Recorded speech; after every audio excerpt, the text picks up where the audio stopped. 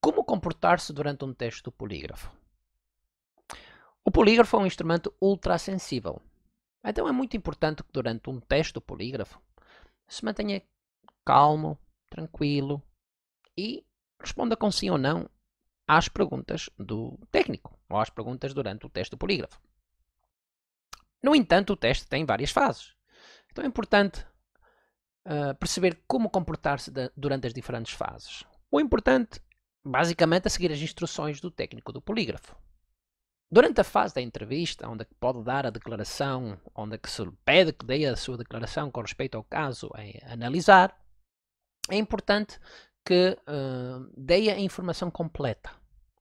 Não omita nenhuma informação, porque isso pode ter depois, mais tarde, uma ou consequências negativas no resultado do teste.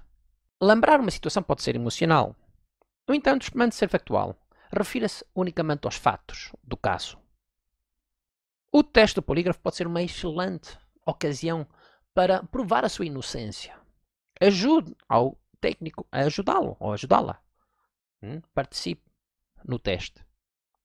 Em resumo, siga as instruções do técnico durante o teste.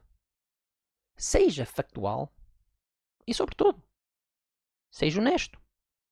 Não guarde informação. Seja honesto. Ok? Espero que esta resposta tenha respondido à sua pergunta.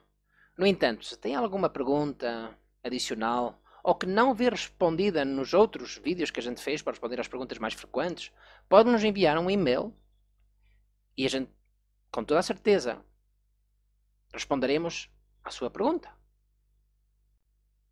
Uma última mensagem. Se sempre deseja estar ao tanto de tudo o que está a acontecer com o polígrafo. Hum? E seja saber as perguntas que a gente respondeu, os vídeos que a gente está a fazer com respeito a esta profissão, o que é, o que, é que se trata, subscreva o canal.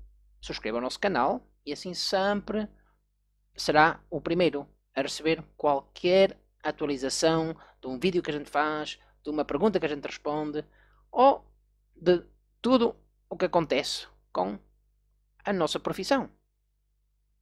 Subscreva o canal.